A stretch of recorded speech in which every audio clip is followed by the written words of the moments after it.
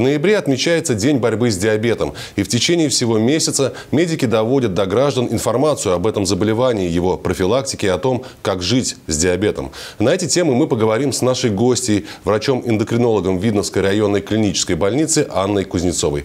Здравствуйте, Анна Геннадьевна. Добрый день, спасибо за приглашение. Насколько я знаю, сейчас начали работать э, мобильные выездные бригады, и вы э, входите в состав такой бригады. Расскажите, пожалуйста, о целях, задачах и, собственно, каким образом происходит сам прием граждан.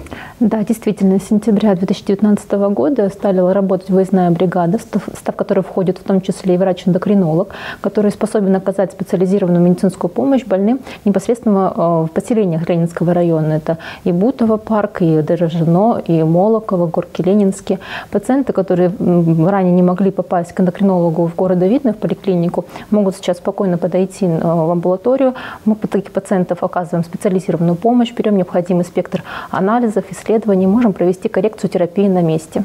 То есть, как я понимаю, может прийти не только уже э, ну, человек, который болен, но и человек, который имеет какие-то подозрения на это заболевание? Конечно, сейчас очень развита система диспансеризации. Это очень большой плюс, потому что пациенты к нам приходят уже с минимальным пакетом исследований, где мы можем заподозрить и провести необходимый спектр э, диагностических манипуляций, подтвердить или опровергнуть данный диагноз, и пациента уже направить в дальнейшем на дальнейший этап лечения. По вашим данным, а какова вообще обстоит ситуация вот в Ленинском городском округе с этим заболеванием? А, к сожалению, вообще эндокринопатология сейчас это вообще бич, и один из них это сахарный диабет, ожирение, дислепидемия. Мы, в принципе, не стоим от мировой статистики, и уже на всех площадках говорят о том, что диабет а, и будет занимать одно из ведущих э, заболеваний после э, заболеваний сердца и онкологии.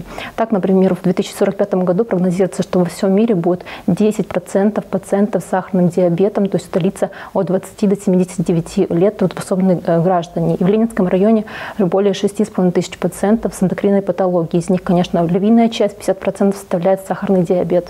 Что же нужно сделать, чтобы, скажем так, немножко сделать поменьше эту цифру в 10% и, может быть, и самому не попасть вот в число тех, кто, к сожалению, болен сахарным диабетом? Ну, никто не отменял правила здорового образа жизни. Это рациональное питание, физические нагрузки да, дозированные. Это, опять-таки, не забывать проходить этапы диспансеризации, сдавать минимальный пакет, биохимический анализ крови, проходить специалистов, невролога, офтальмолога, терапевта.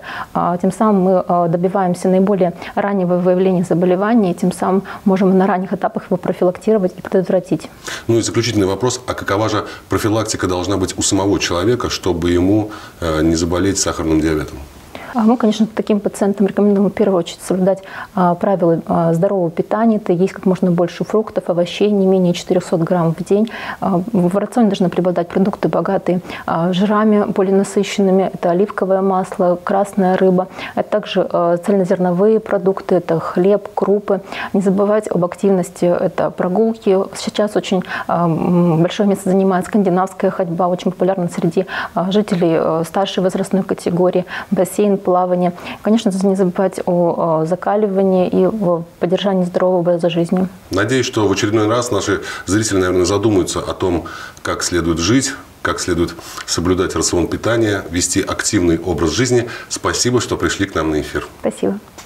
А я напомню, что о проблеме сахарного диабета мы беседовали с врачом-эндокринологом Видновской районной клинической больницы Анной Кузнецовой. К другим темам.